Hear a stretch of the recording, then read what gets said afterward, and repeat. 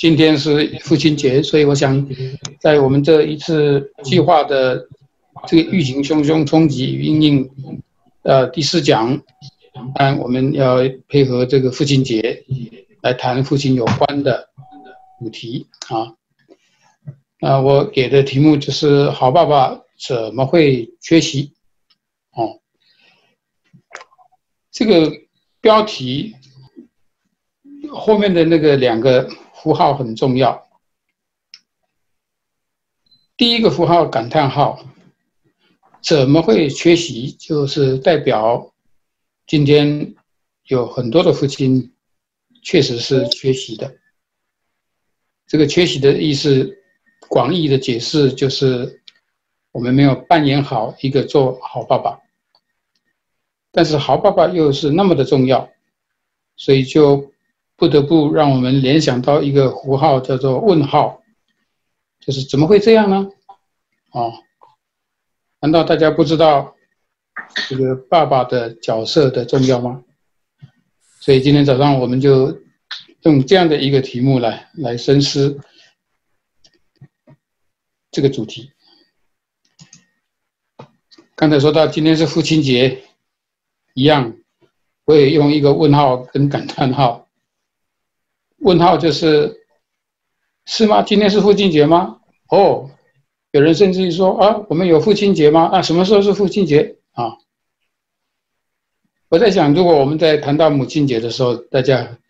大概只有一个很笃定的说，哦，母亲节是五月第二个礼拜啊。那所以让我们也蛮感慨的，就是说今天父亲节为什么前面还需要多加一个问号？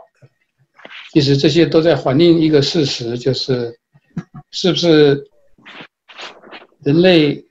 多数的社会文化，这个父亲的角色，大概就像刚才我说的，是不是我们的扮演的不是特别的好，甚至可能还呃不及格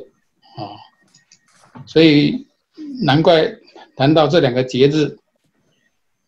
你们知道这个符号的意思就是。大家在纪念父亲节、庆祝呃纪纪念母亲节、庆祝母亲节，跟相对的在纪念庆祝父亲节，那这个父亲节呢顺色的多了啊，顺色的多了。呃，可能教会每一年一定会有母亲节的主日，而且还蛮盛况的。那么父亲节有的人根本。连提都没有提也说不定啊，就像有提也是轻描淡写的，意思意思的就这样过去了啊。这里有一张照片提到说，父亲节到了，那么妈妈就请儿子呢唱一个歌给爸爸听吧。结果孩子一上手就说：“世上只有妈妈好。”啊，当然这个是。幽默，但是这个是一个挖苦的幽默啊，所以我想，今天我们真的要好好的来探讨这样的一个问题。美国的中西部有一个很大的青少年感化院啊，我们知道青少年感化院就是说这些青少年犯罪，但是因为他还没有成人，所以他们就有特别的一个感化院来收容他们，来管教他们，来感化他们啊。大大概关了将近两千九百呃五六十个人哈，那那一年父亲节之前，教会就决议呢，我们今年呢应当要送个三千套的这个父亲节的卡片到这个感化院，那请这个院生呢，每一个人都能够拿一套这个父亲节的卡片，那么回去呢写给这个父亲。啊，我想这个用意非常的好，所以呢，执事会都一致通过啊。结果父亲节过了以后呢，礼拜一，港化院的人就打个电话，请教会的人来把剩下的这个父亲节的卡片，那么带回去啊。结果去的人呢很讶异的发现到，送了三千套这个父亲节的卡片，竟然被拿走了。只有不到五十套，啊，换句话说，这个弟兄把将近两千九百五十套的父亲的卡片就带回到教会来，大家很讶异，就认真的思考、检讨、了解到底为什么有这种现象啊？就他们知道了，原来这些青少年感化院的院生啊，很多的人根本不知道父亲在哪里，甚至于很多人可能不知道父亲是谁，甚至于很多人可能想到父亲。会好像想到母亲那一种感性、那种感激、感恩、感念，想到父亲，搞不好反而挑起一些的负面的、激动的、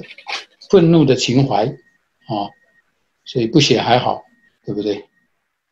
所以这些的事实是一个很不幸的现象，可是这个现象不止在美国，其实今天很多很多的社会都有类似。这样的一个恶化的趋向，我们所住的美国，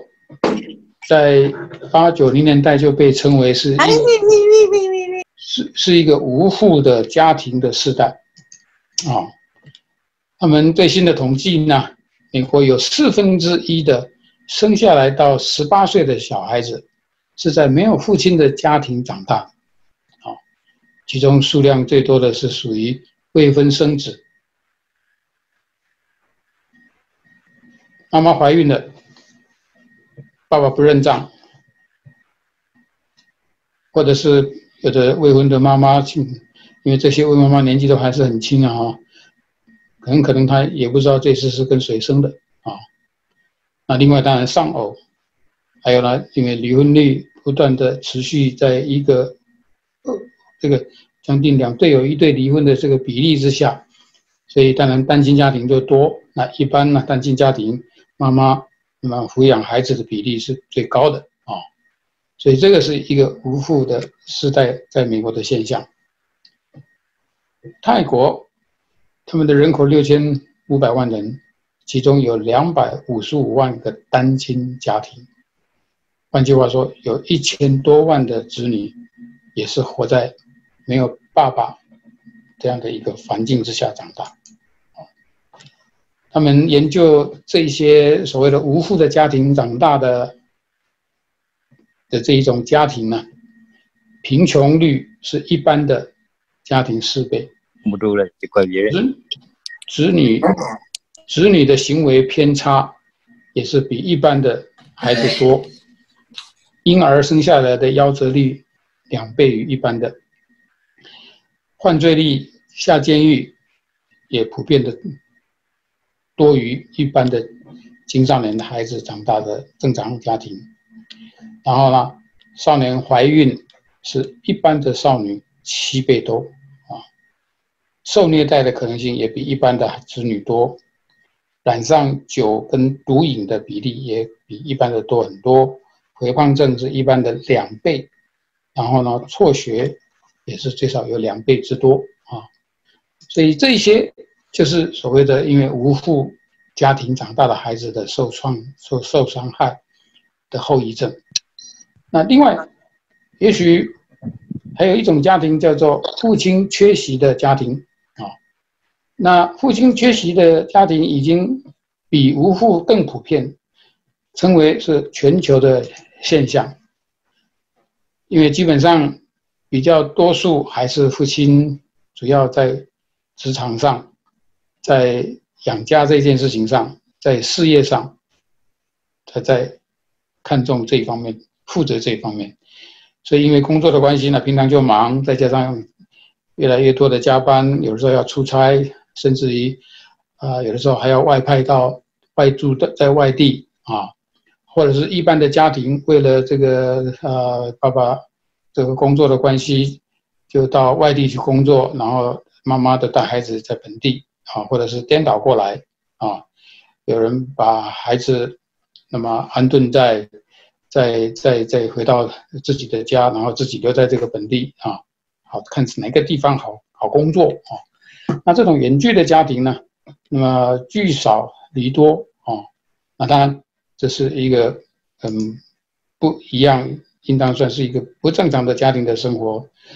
那另外呢，就像有一些的父亲。好像每天也是早出晚归，可是呢，在生活上却比较少参与子女的学习活动跟成长。有一些的父母，特别孩子要找爸爸谈一些事情、问一些事情的时候，这样的一个父亲呢，因为他不不太重视参与一个孩子的学习活动跟成长种种，所以碰到这个事情，他最容易顶回去的一句话啊，你去找妈妈，你们去问妈妈啊。那还有可能更多的是父亲身在心却不在家的这样的人，在家里面除了吃饭睡觉，孩子很能很少能够跟爸爸有好的沟通互动爸爸回到家吃完饭，不是划手机看电脑看电视，就是一个人在那边好像生闷气一样啊。那这种情况，当然孩子要找他，不管。什么情况之下，他们得到的是不要来烦我啊，就被父亲拒绝了。啊，想想看，如果一个家庭的爸爸角色是这样的话，对子女会怎么样？啊，还有一个可能更深入的一个深刻的就是爸爸还会伤人啊。我这么多年来当一个牧师，做一个心理辅导、家庭辅导，其实发现到有很多人，不管是未成年的孩子。成年人甚至于中老年人都有，他们内心有很深的一种伤痛啊啊，是来自于爸爸啊，在人生的阶段里面，有的有些是在可能早期早期给他的伤害，但是呢，到现在仍然还承受这一种伤害的苦毒。我就帮助过有一对姐弟来做辅导。一个小时里面大概三半，最少一半的时间，两个姐弟好像轮轮番的哭着控诉这个爸爸怎么样的，从他们的记忆里面数说不完的这种来自爸爸的伤害这一类的事情。也曾经辅导过一位已经八十四岁的老妇人啊，那么没有想到这位老妇人呢，她在晚年的时候。有有将近二十多年的这个忧郁的问题，在谈这些问题的时候，他追溯从四岁有记忆的时候，就发现到，好像爸爸从来都不理他，找他也被拒绝，怎么样讨好他也没有用啊。小孩子很小就很聪明又可爱，读书都是班上第一名，在那个年代，后来他还考上了。名校的医学院当了一个很出名的医生，啊，为了要继续的讨好他的爸爸，他后来连这个婚姻都牺牲了啊，专心在他的专业得到很高很高的成就。但是到六十岁的时候，他的爸爸仍然还是没有跟他有正常的关系。那么那一年，他的爸爸去世了。我以为他谈到他六十岁的时候，爸爸去世，以为他终于可以脱离。这种所谓的苦读吧，哈，但是他竟然说他六十岁以后，他才发作更严重的所谓的忧郁症这样的问题。原来他以前一直拼命的想尽办法，希望能够得到父亲的肯定、认可，甚至于那种关爱。那六十岁爸爸去世以后，我们以为就解脱了，但是反而他认为。他将来已经没有，以后就没有机会再努力赢回了，啊，所以这样的一个不幸呢，竟然一辈子可以说是困扰着这个妇女，直到她八十四岁，仍然还是好像在继续被伤害一样。呃，我在带领这个爸爸学校，或者是爸爸成长班，或者是营会，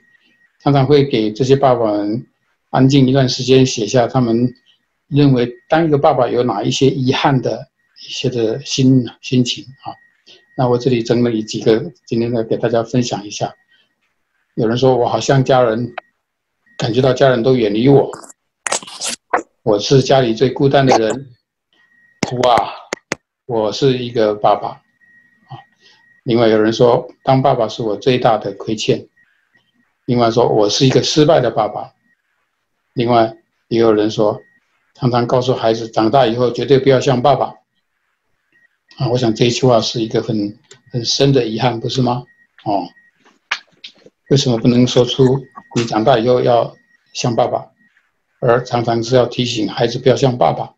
可见这个爸爸自己也觉得非常失职啊啊！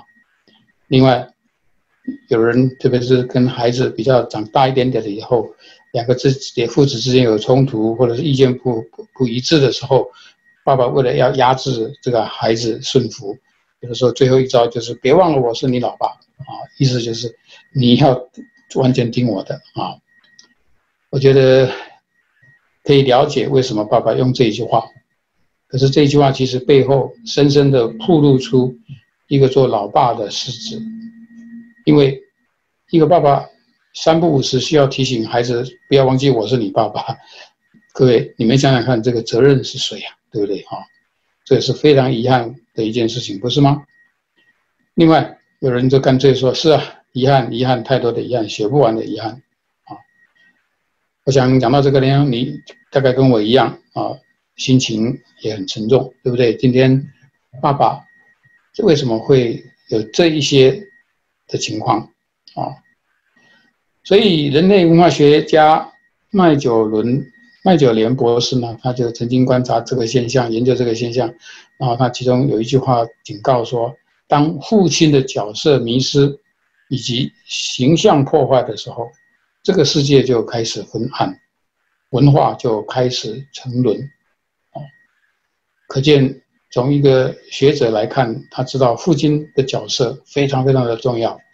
如果没有扮演好，迷失了，或者是父亲的形象破坏了，整个的世界就开始昏暗，文化就开始沉沦。那我们从观察社会的问题来看，我们每一天听新闻、看报纸、上网络得到的一些社会的问题的背后，是不是你常常也会直接的感觉到？是这些社会问题的背后，其实就是家庭的问题。就算没有百分之百，我想百分之八九十都是跟这个家庭问题有关，不是吗？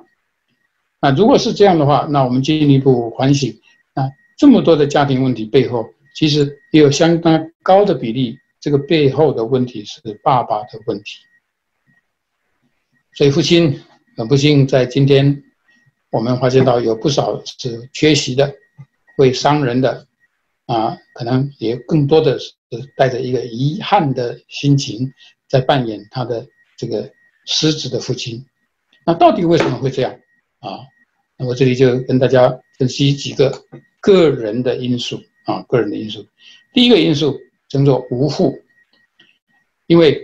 我们这些所谓的扮演不好父亲的角色的人，可能自己就是成长在一个无父的家庭啊。当然，这个无父的家庭也是也可以包括。自己成长的时候，爸爸就是一个缺席，缺席好像无父一样，也是一种无父啊。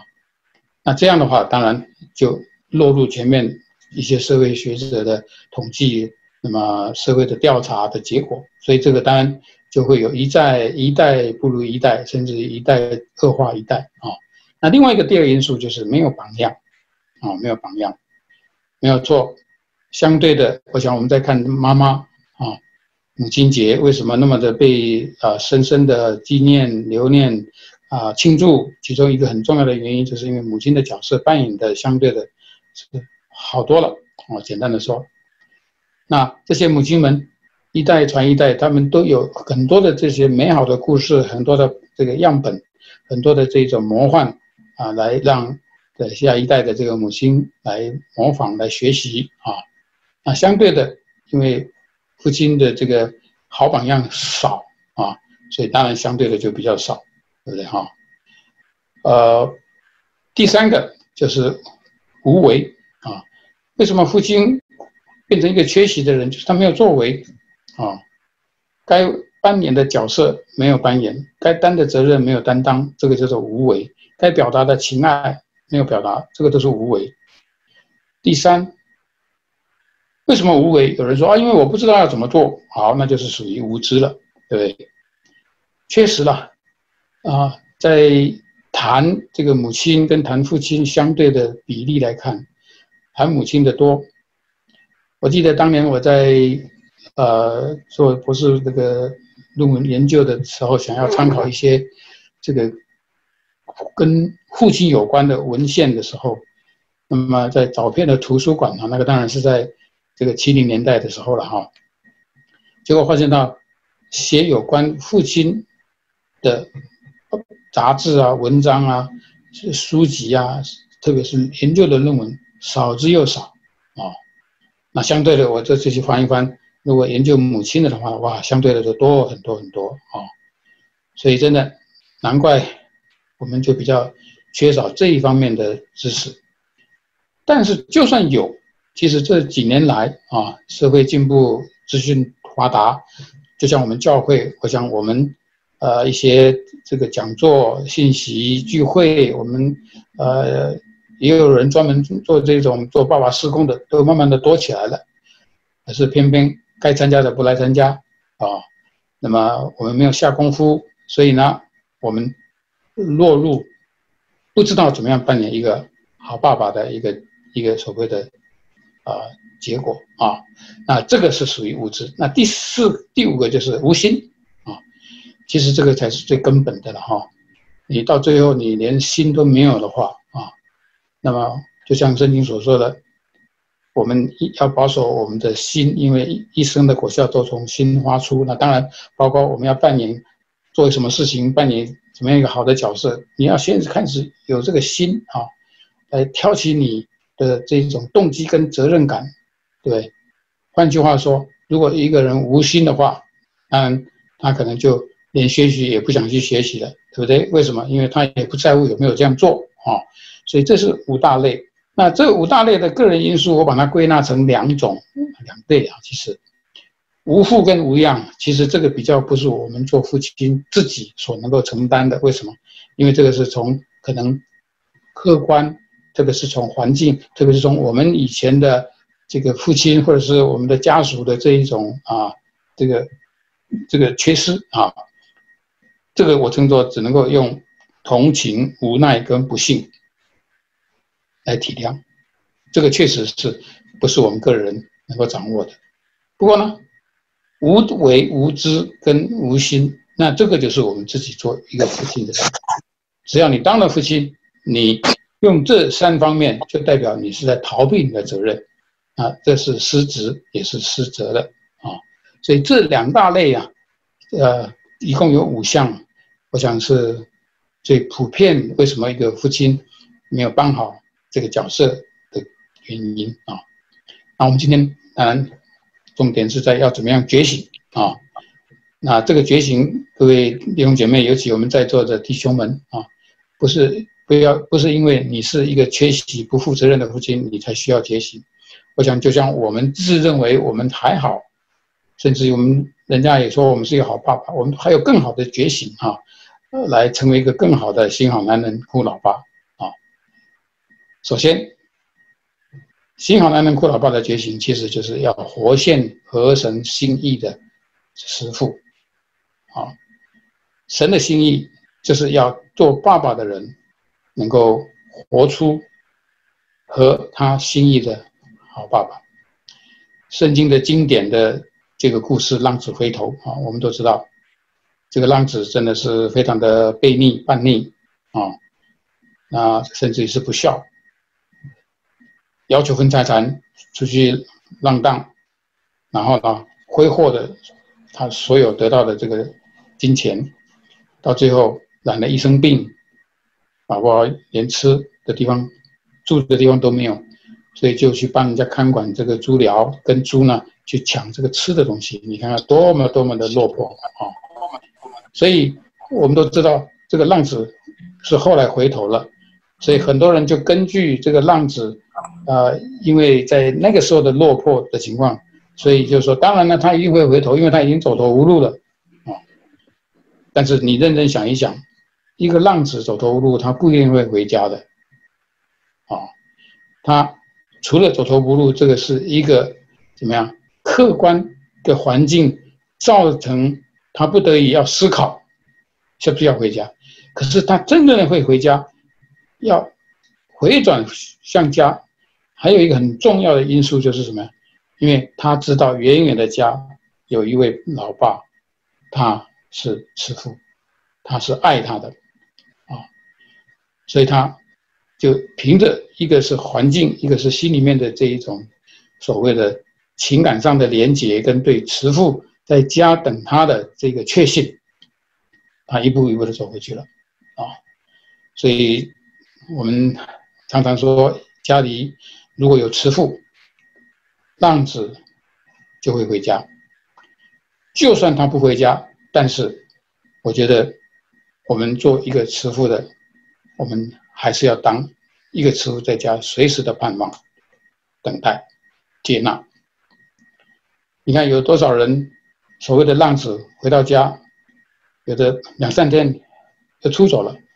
搞不好一回家 马上跟家人对爸爸再骂了几句，吵了几句，可能又走了啊。所以我常常说。慈父要呃，浪子要回家，慈父先要在家，啊，而且我这里说不止慈父在家，浪子就比较有可能回家，而且在慈父的继续调教之下，这个浪子后来也变成慈父了。这是在看这个浪子回头的故事，我们可以加上一点想象跟后续的发展可能的结果。那。不要忘记，今天我们在谈浪子，可是今天适逢父亲节，其实我们很遗憾的说，这个世界有浪子，难道就没有浪父吗？啊，当然了，也可能也有极少数的浪母啊。所以呢，我们就想说，如果家里有浪父，我们浪父当然就也要怎么样，尽早的回转回家。我也相信，当浪父回家以后。家就能够重见曙光。当然，我这里讲的浪父不一定要像浪子回头的那一种具戏剧性的，真的是，真的是，呃，离家出走，真的是这个不不负责任的这样啊，这个这个离弃家人啊。其实有人说，浪子回头的故事，这个小儿子是浪子，可是家里还有另外一个浪子，就是这个哥哥，有没有？他人在心不在，也算是一个浪子啊。所以今天可能有很多不是在生理上。那个流浪在外面，啊，完全不顾家的这个浪妇，可是呢，可能有刚才我们分析到的，有人身在心不在啊，那这一类也是某一种程度的缺席啊，我们都要回转啊。我相信，如果我们回转将军归家，啊，整个的家就开始翻转了啊。好，另外，我们看到圣经真的是讲到这么一句话，说他必使父亲的心回转向儿女，儿女的心。回转向父亲，圣经说：“免得我来咒诅遍地。”啊，换句话说，在圣经早期用这段圣经的时候，当然是在先知呼呼求以色列百姓在信仰上回转向天父，也向天父求向一个父亲的心转向以色列百姓。啊，不过今天我们在看这段圣经的时候，用在家庭的生活，岂不是岂不是也正符合？我们更需要。呼吁这一些父亲的心要转回向儿女，当然儿女的心也要转回向父亲。换句话说，广义来看就是重视父子的关系；更广义来看就是重视家庭啊。那这就是做一个父亲，不管你今天认为你为父的身份跟所谓的表现如何，我们都还有这一颗心，需要继续更靠近的、更强烈的来回转向我们的儿女。那圣经还有一句更精正正面的一句话，提到说：“子孙为老年人的冠冕，父亲是儿女的荣耀。”啊，我觉得这句话说的太好了啊！我们前面不是有人说：“哎呀，我当一个父亲多苦啊，我是一个失败的人，等等等等。”但是圣经是要我们能够做父亲的，能够活到活出到一个阶段呢，是让儿女感觉到。我们是他们的荣耀，啊，然后呢，我们当看到儿女的儿女的时候，我们就发现到，哎呀，这些子子孙孙变成我们进入到老年的一种冠冕，也是一种荣耀的一个啊见证啊。那我真的很盼望说，如果我们不能够扮演好做父亲，我们将来我想就很难啊，在这个儿孙的这个这个关系里面继续培养好。当然，另外有一种情况，就是说，我们也许做父亲的角色不是很好，可是经过我们的环形，经过我们的岁月，我们的智慧，我们开始的谦卑。当然有很多人当了阿公以后，他反而怎么样？他开始让一个学习一个更好的一个这个这个这个做做阿公的，做爷爷的，啊，那当然他回想他自己当父亲的时候，当然会相对的觉得很遗憾啊。那如果他以前也能够像跟孙子一样的关系的话，我想他以前跟孩子的关系就有很大改善的空间啊。不过不管如何，圣经正面的祝福是要让父亲成为儿女的冠冕，然后呢，子孙成为老年人的，父亲是儿女的荣耀，那子孙是老年人的冠冕。来，我们继续看，怎么样更具体的提到新好男人哭老爸的觉醒，就是我们不要再以我是因为无父。的成长的背景，或者说我没有一个好的父亲的榜样，可以让我来学习啊，把这无父跟无样作为我们自己缺席、伤人、遗憾的怪罪跟借口啊，没错，今天环境是会影响一个人，可是还有很多其他的这个因素，包括我们个人的因素，还有包括。这个勇于改善或者是寻求帮助的因素，可以破除我们无父跟不一样的这个遗憾啊。第二，我们不要以自己的无为、无知跟无心，而不能成为好的爸爸。为什么我这么说呢？因为无为、无知、无心一样，也是可以把它怎么样逆向操作、改变成为。有为有知跟有心的啊，我下面会再继续谈这方面。那圣经说，你们中间做父亲的，谁有儿子求饼还给他石头呢？求鱼还拿蛇当鱼给他呢？求鸡蛋还给他鞋子呢？啊，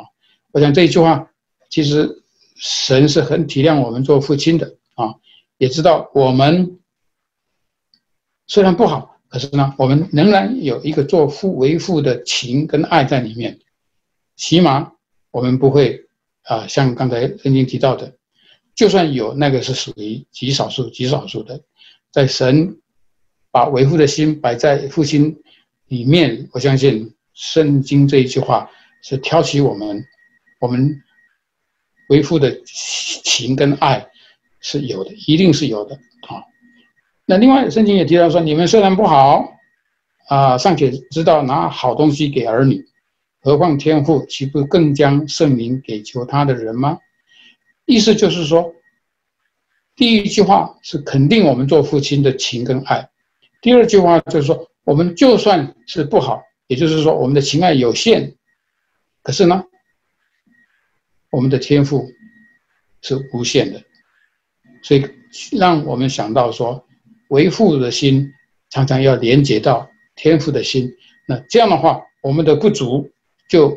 有所谓的连接，有所谓的成长，有所谓的吸收、改变、影响的可能性。所以我这里就具体的提到几句话，说根据刚才这两处的圣经，事实上没有绝对不是的父亲，因为我刚才一直强调，因为为父的情跟爱。是从神而来，这个是天生的，是父子之情，一定是有的。当年我在台湾啊推动这个器官捐赠，那后来啊也要我到这个监狱里面对这些死刑犯啊做心理心灵的辅导，安抚他们，然后从我做一个牧师角度，向他们最后把握机会传福音。那当然最后如果他们很愿意，那捐赠遗体的器官。来救人，当然他们可以签这样的同意书，当然家人也要同意啊。那在那么多的接触这些死刑犯的经验，我就发现到，有一些死刑犯快要被枪决之前，就算家人来看他，有的时候还不领情，好像这个还是很很很很硬啊。那么这个连有些这个跟他很关心。关系很亲密的人来看他，他还是一副那个样子，好像在告诉他说：就算我几几天后被枪决的，二十年后又是一条好汉啊，看不出有任何的那一种那种那种那种忏悔、忏悔、忏悔罪的感觉啊。可是几次刚好被我看到，家人把他们的孩子，尤其是幼小的孩子带来的时候，哇，这个史希万这个爸爸呢，哭啊，然后有的甚至于就跪在孩子的面前啊，那这个我觉得也是在印证刚才我们所说的。这个父子之情是在怎么样的父亲，连这些所谓的被判死刑的人，仍然还是有的。不过，当然我们也不否定啊，我们都是罪人，但是没有一个完美的父亲，所以父亲会伤人，也不幸成为一个一个难免的一个现象啊。所以这就是一个事实。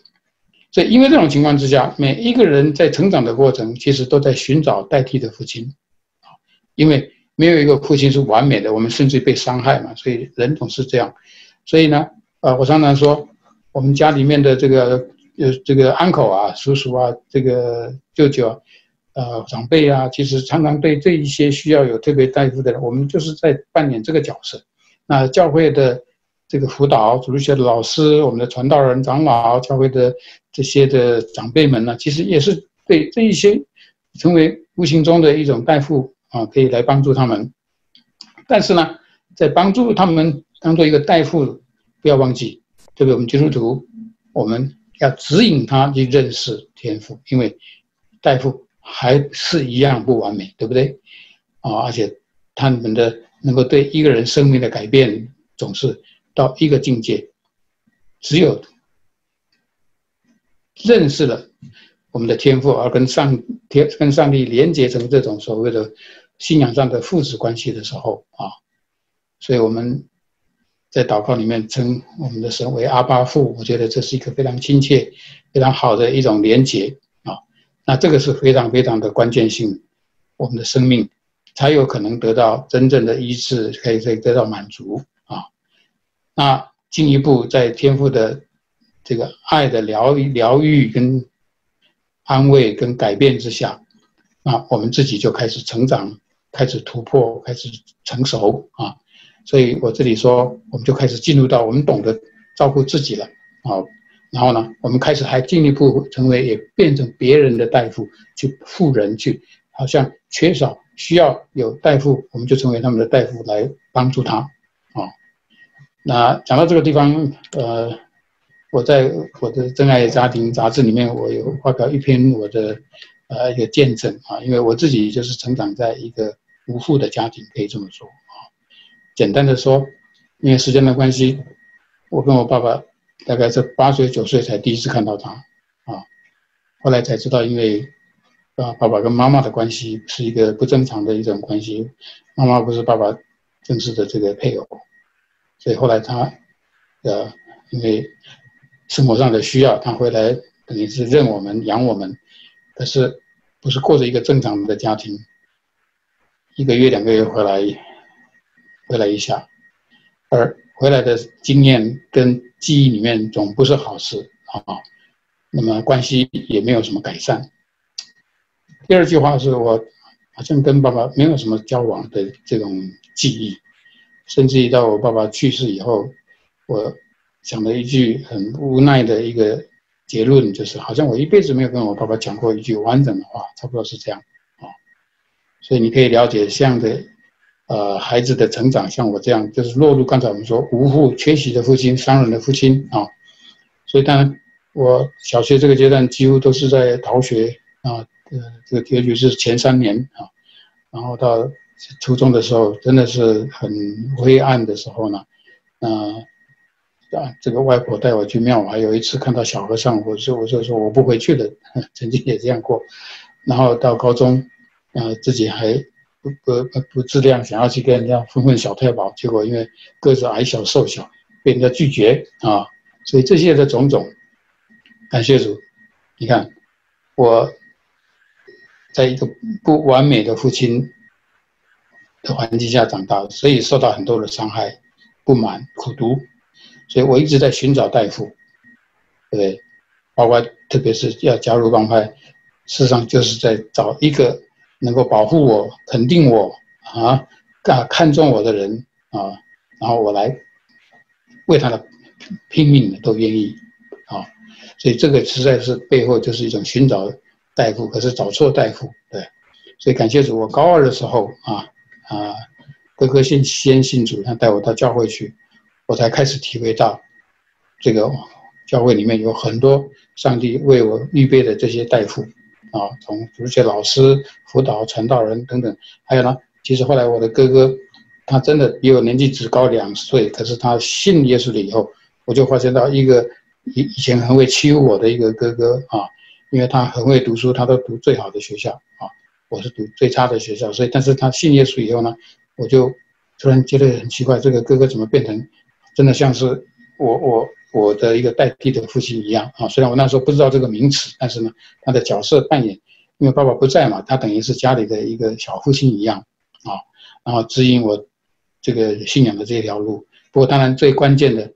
是到最后认识了所谓的我们所信的神，我们所相信的主耶稣，他成为我们成为我的这个天赋啊，所以整个生命才开始有这样的一个很大的这个翻转，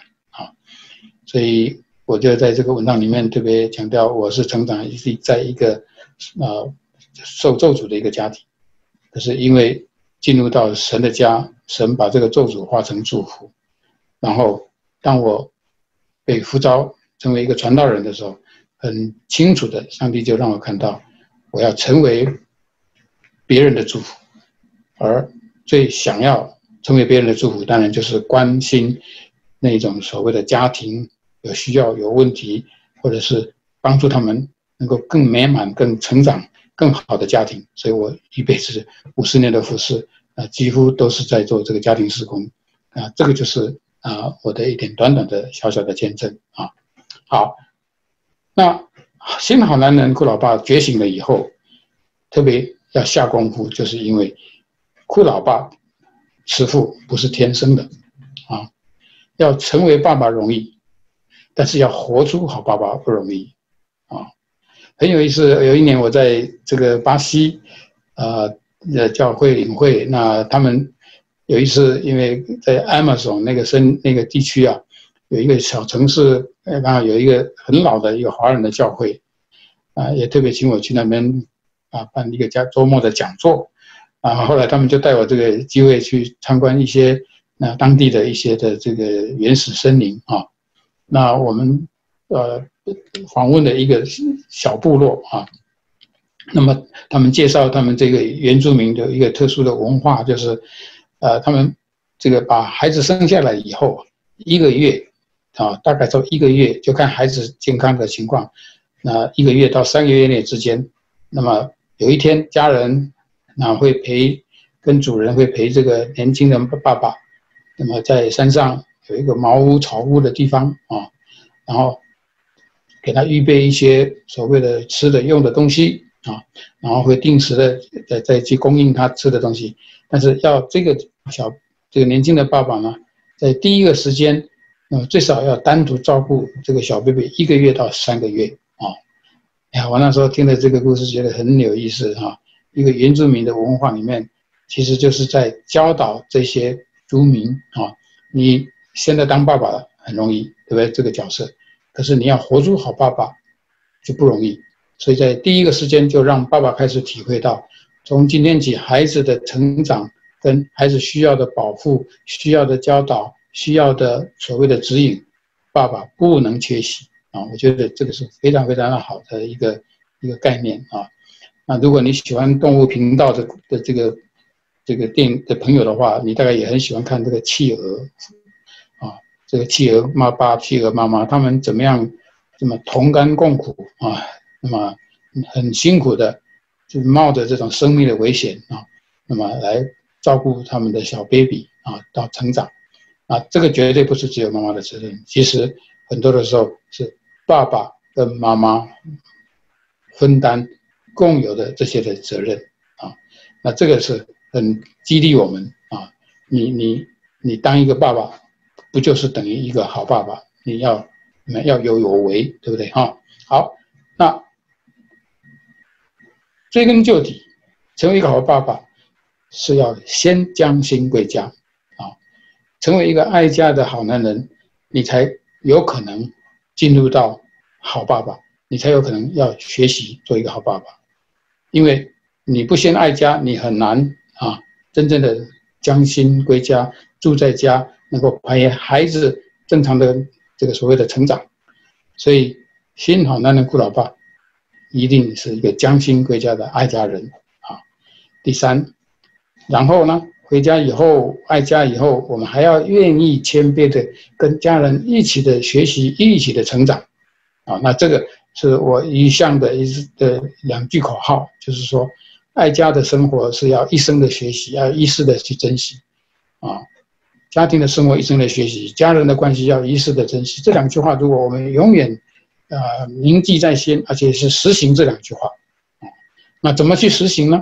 啊，就像我们今天主日学，我们在这来学习，我们教会其实有很多很多的管道可以学习的，啊，那不过我坦白的讲，这么多年来，在社会在教会，我们开很多的讲座营会啊，那很多的时候真的。啊，刚才我已经说过，当然该来的没有来，就是特别在指丈夫啊，这个做爸爸的，因为谈亲子教育的事情，一定要父母一起来学，对不对？不过相对的呢，爸爸妈妈愿意来的比例高，那爸爸愿意来的比例就少。那如果谈到夫妻，那更是这样，更高的比例是太太来，先生更少的人愿意来啊。那这些就是就是很难，夫妻同心一起来改善婚姻，父母同心一起来改善。怎么样跟孩子有更好的关系，然后有更好的能够陪伴孩子一起成长，啊，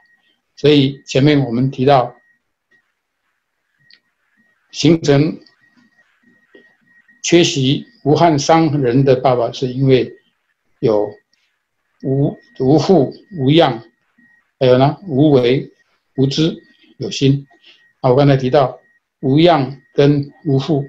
这个我们已经。没有办法去改变的，因为我们就是这样的一个环境成长的。但是，当我们自己要做爸爸，或者是已经当爸爸的人，我们可以破除那人为自己要承担的那三样：那无为、无知、有心。呃，无为、无知、无心。那好爸爸是颠倒过来，我们要先有心，挑起我们的心啊。所以，像今天。我们也是在激励大家，激励我自己。我们还要继续有心，好的再更好。我们不够好，我们要赶快改善啊！有心，然后呢，有知，有知是从哪里来？是从学习来。刚才已经说过了，今天资讯那么多，尤其我们在教会的基督徒，我们比一般人还更有福气。我们教会的生活、教会的教导，其实这都是直接、间接的，都是会帮助我们成为一个好的父亲，是吗？啊，那但是我们愿意不愿意谦卑来学习？啊，有心再有知，当然还要把你的心、你的知，要把它落实在你的生活里面去活现出来啊。那我相信这样加以这种良性的循环啊，我们就在这个循环里面开始就会成长。我们真爱家庭协会有一对童工义工哈，核心义工夫妇，啊，他们真的是一对很特别、很特别、很值得提的夫妇。早年这个先生在当时台湾这个科技业啊开始电子业非常鼎盛的时候，他年纪很轻，三十几岁已经当到一个一个一个公司的副总经理啊。可是他赔上了夫妻的关系，赔上了成为一个父亲的一个这个这个这个角色啊，没有错。到了最后，太太。跟他提到说，如果你这样继续下去，就算你将来的事业达到更高的境界，可是可能我们的关系赔上了，可能孩子跟你的关系也赔上了，啊，很难得这个父亲后来下定决心了哈，就放下台湾的一切，顺着那时候的移民潮移民潮哈，就带着妻子跟儿女到美国来，啊，啊，当然他说了，他说来到美国他的。收入跟薪水是绝对不能比呀，的五分之一、十分之一都都差不多可以这么说哈。可是这个爸爸啊，真的是将心归家了，以爱家的心开始来重视他的家庭生活，啊，结果到最后，他认识了我们真爱，他常常喜欢讲说，我们真爱所有的讲座、所有的课程，几乎在他来美国的这二三十年当中，他都都跟上了啊。那几年前我们看到他们夫妻这样的，啊，从婚姻家庭的危机里面转化成很成功、值得让人肯定的这种啊夫妻关系、亲子关系，所以后来我们就呃任命他们为我们其中一个施工的这个这个负责人啊，跟我们在一起推动家庭施工，把他的经验、把他的这个化咒诅为祝福，成为别人的祝福的一对非常非常难得的啊我们的核心讲师啊，所以我相信。这个例子就是告诉我们说，只要我们有心，愿意谦卑学习，然后呢，我们落实一天一天的在现实生活里面，我们去实践。有一天，就像我们不是成为一个啊帮助人的人，但是我相信我们一定有很大的作为来影响我们的家庭，改善我们的家庭，特别亲子的关系啊。你看这张照片。你看这张照片，还有这张，下面这一张，你看，爸爸在做什么，孩子就在旁边跟着模仿一样啊，跟着学习啊。那这里还有一张，这这也是我们呃另外一个童工，他以前是我们美东中心的主任郭弟兄啊。那当年我看到这张照片，我就很喜欢，我就得到他的 copy，而且答应让我来用这一张照片。当时我看了这张照片，就问问这个郭弟兄夫妇，我说：“哎，你们那天照这个照片，是不是因为你们出门就已经讲好了，这个爸爸跟孩子穿一样的衣服啊，类似的衣服啊？” 呃，这个他们说没有啊，我们也不知道，到照照相的时候才注意到，原来我们。这次出门怎么大家两个人都穿的差不多了哈？然后照相的时候摆那个 pose 那个姿势，那个父子也很相似啊。那这个太太还特别强调，我照相的时候也没有特别要求他们这样，只是之后才看到，哎，怎么搞的？连那个头歪的地方啊，角度也差不多啊。还有还有，我还注意到这个头发哈，这个父子的头发一样，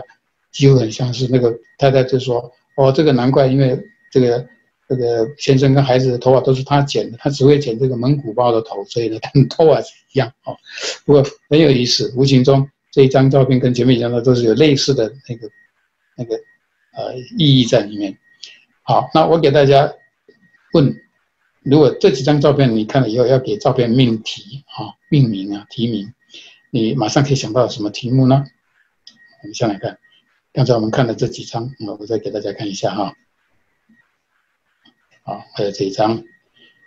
各位，你有没有想到一个什么好的题目呢？啊，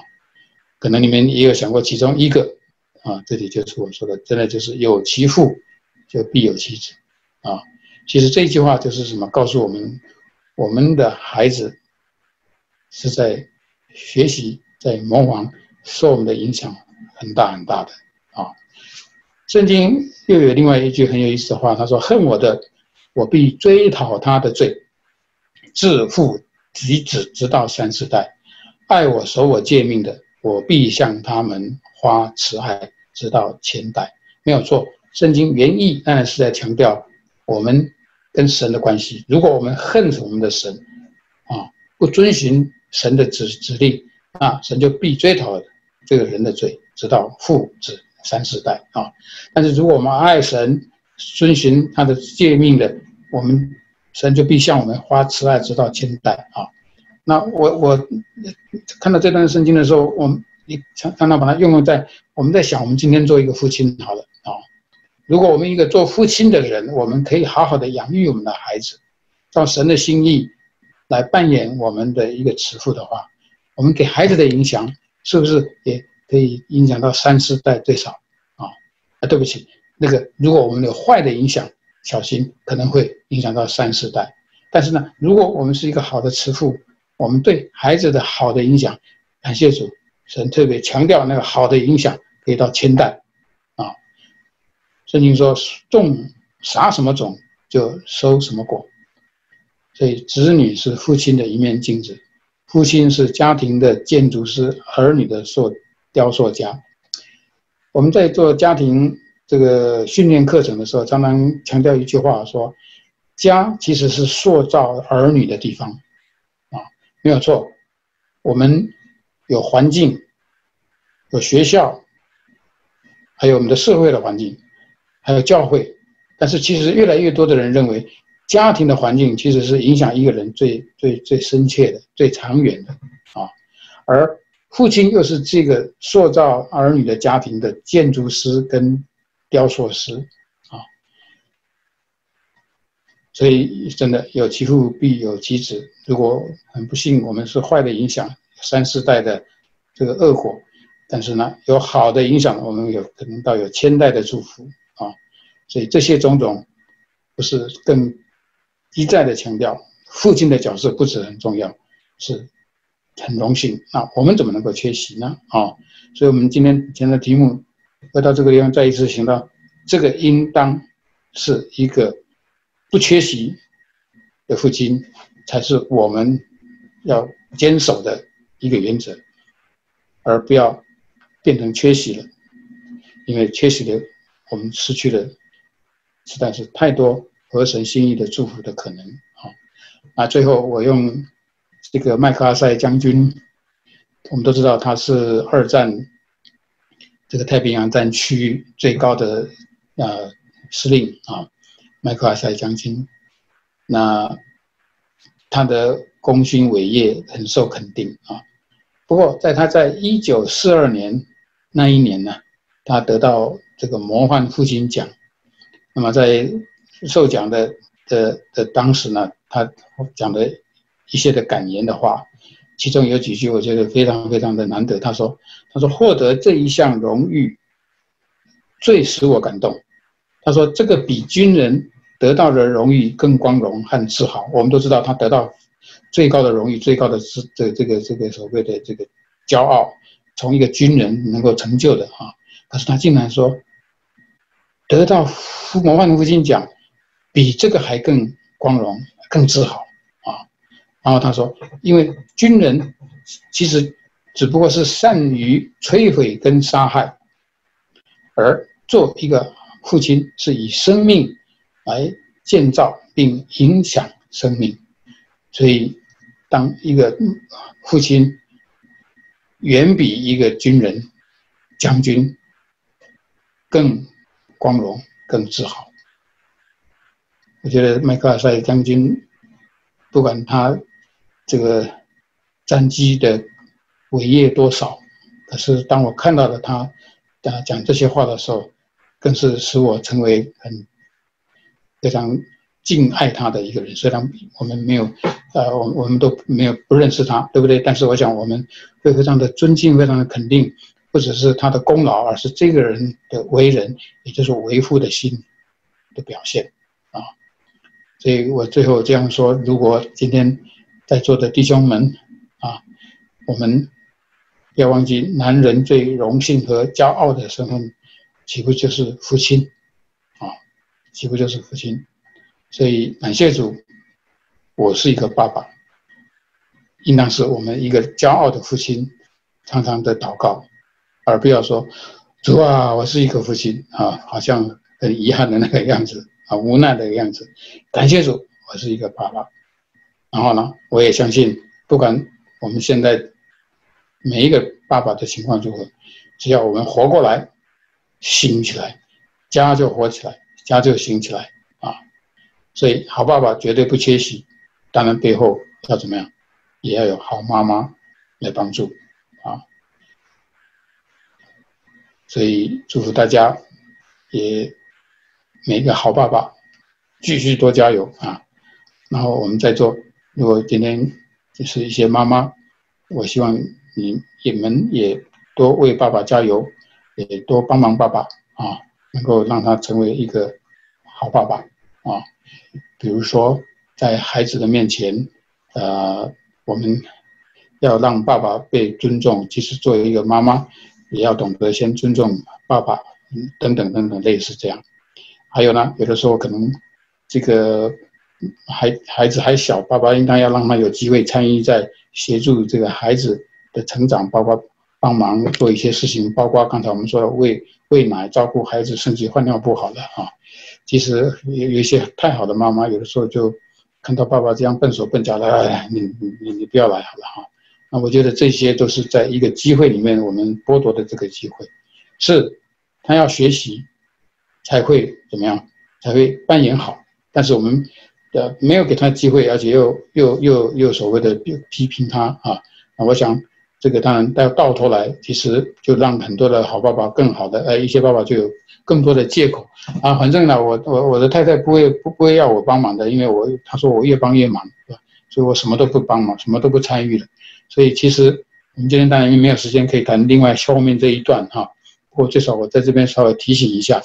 啊，好爸爸不是不是不需要好妈妈在旁边的。好，感谢主，我先停到这里哈。大家今天都，我们想我们做爸爸的都今天有很好的一个 一个课，让我们能够学习哈，让我们学习为父的心肠。我想啊，今天我们这边有几位好爸爸哈。我看最资深的这边还有，我想朱长老在嘛哈？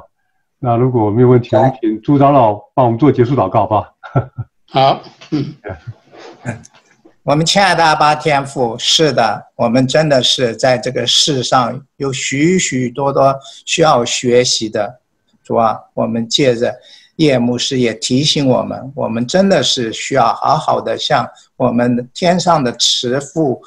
经常的学习，借着圣经的话语，让我们这些做爸爸在做父亲节的时候，受受到更好的一些提醒。主啊，我们真的是一生一世都要继续不断的学习。主啊，我们把把我们教会里面还有许许多多年轻的爸爸们，也是求主真是帮助这些家庭们能够非常健康的成长。让每个家都能够把耶稣基督放在首位，让家就是让这些儿女们学习怎么样认识主，接着，呃，借着爸爸妈妈们的好榜样，而真是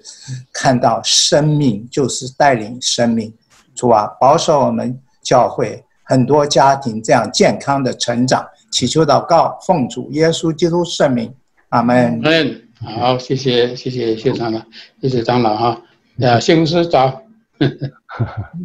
好，谢谢啊，非常好，好，好，长老哈。有后机会可能也可以请叶牧师来帮助我们。OK。好的，对对，好，会跟呃叶叶牧师再呃进一步沟通。